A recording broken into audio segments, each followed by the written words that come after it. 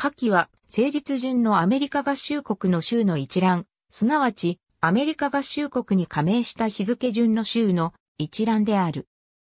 最初の13州は独立宣言の日から、あるいは連合規約を批准した日から合衆国の一員であったとも考えられるが、ここではバーモント州のように各州が現在の合衆国憲法を批准した日に加盟したものとしている。50州25セント効果プログラムなど他の一覧でも同様のことが行われている。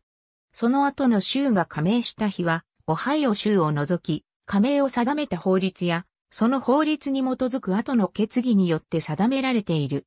オハイオ州が加盟した日は、1953年の連邦議会の法令により、1803年3月1日と決定された。これは、元々の法令では、加盟した日を表す日付が事務的なミスによって欠落していたためである。また、この一覧では、南北戦争中に11州がアメリカ連合国を形成するために合衆国から脱退したこと、その後の1866年から1870年にかけて、これら諸州が連邦議会で代表権を回復したこと、及び、これら諸州におけるレコンストラクションの完了は考慮されていない。それは合衆国最高裁判所がテキサス V ホワイト事件において脱退外法なものであると判断しており、これら諸州は法律上は連邦を去っていないためである。また、他の2州において形成された脱退主義政府も考慮されていないが、これは連邦主義政府による支配が概ね維持されていたためである。